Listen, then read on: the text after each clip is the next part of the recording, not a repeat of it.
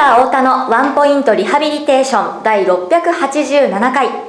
さあ先生寝たきりになってしまう方を作らないために機能を回復させるためだけではないリハビリテーションが重要になってくるんですね。難しいこと聞くねあんたもね。あの、はい、あの 世の中はリハビリテーションっていうと、うん、マッサージであるだとかね、はい、それからあの電気を当てたりだとかね、うん、えるいはこう体を動かす運動療法であったり、まあ、作業療法であったりそういうことを言うんですね、はい、まあ、それ間違いでも何でもないんですけれどもあのリハビリテーションという言葉そのものはね、えー、真ん中にハビリスっていうねラテン語を置いてできた言葉なんです。ハビリスって。私もラテン語は詳しくないけどハビリスっていうのはどういう意味かというとふさわしいとかね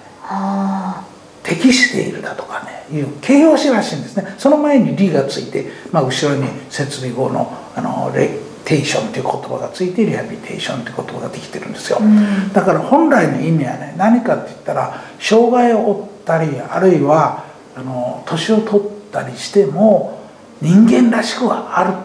人間らしく暮らすっていうそういうようなね意味でリハビリテーションっていうのが使われる。でそのために理学療法があったり運動療法があったりあるいは作業療法があったり言語聴覚療法があったり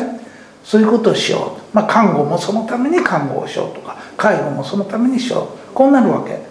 難しい。だんだんね哲学的な話になるけどね、うん。はい、そうするとね何が人間らしいかっていうことも考えていかなくちゃいけない。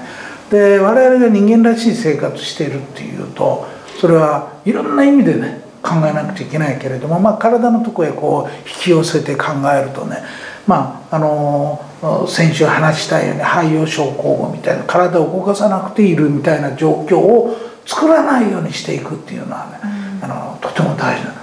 大事なんです。でそれにはあの一番こう障害のある人はお年寄りの問題になるのは一人ぼっちになっていて孤立していくっていう問題。これ一番いけないね、うん、孤立してあの社会から無縁になっていくとね、えー、だんだんだんだんこう世の中に関心が薄れてきてね、えー、世の中に関心が持てなくなってくると生きていてもしょうがないなと思ったりしてね、はい、だんだんだんだんダメになってくる。だからリハビリテーションってそういうことも考えてやらないといけないということなんですよ。結構深いでしょ？